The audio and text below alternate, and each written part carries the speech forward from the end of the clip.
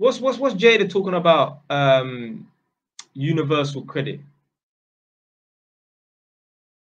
I don't know. I maybe, maybe it wasn't directed at me.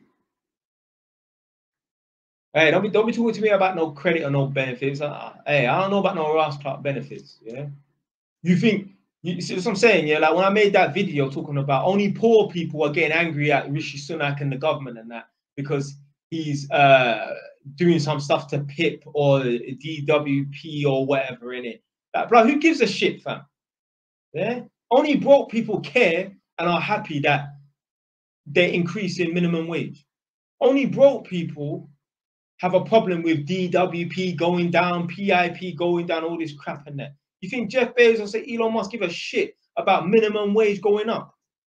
You know what? They probably do because the employees that work for them that are on minimum wage, yeah, that might affect them. So obviously they're gonna have to pay people more and that.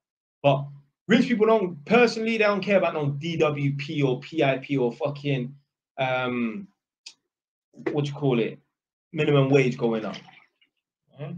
Like these people that are getting angry, oh, foreign people are coming and taking the council houses and that. Blood, you think a man that's got five, six, ten properties gives a shit about some fucking dirty ass council house, blood? Yeah? Now, I come from a council house, yeah. I, I grew up in a council house. I didn't grow up in a dirty council house. I did not grow up in a dirty council house. What I'm saying is, these people that are moaning and bitching, complaining about council houses and that. But if you think some rich lawyer, stockbroker, banker, or someone from the royal family gives a shit about some council house in the middle of Leicester or in Southampton or Reading or even Tottenham. No one gives a shit. They don't, they don't care, blood. These are poor people problems, blood.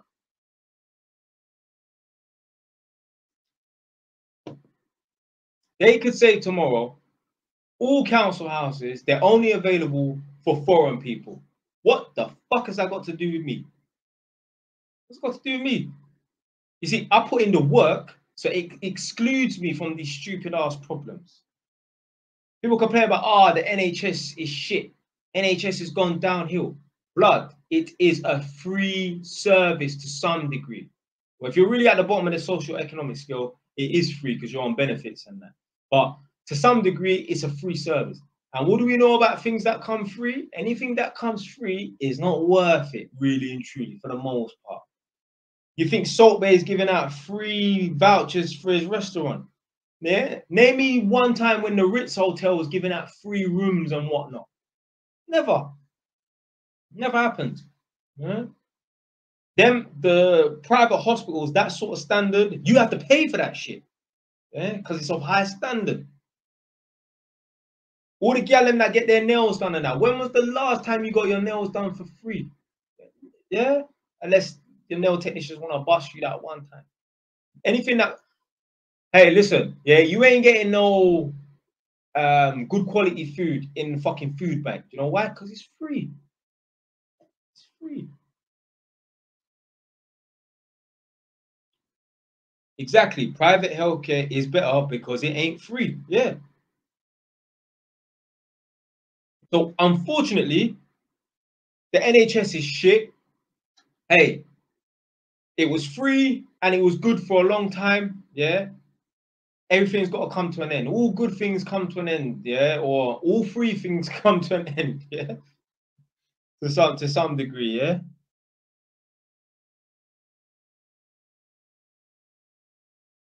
Like it really pissed me off here. Like when I see these videos, yeah, like where you got these people complaining about Rishi Sunak and that blood. I'm telling you, it's only broke people that hate Rishi Sunak. Yeah. This is the thing, yeah. When you're broke and you're at the bottom of the social economics, yo, you look for higher powers, whether it be God, whether it be the local council, the local government. You look for everybody else to fix your problems apart from you. Yo, as a man, as a woman, you got to look in the mirror and realize only you are going to fix your life. Nobody else, especially if you're a man. If you're a man, no one gives a fuck about you, blood.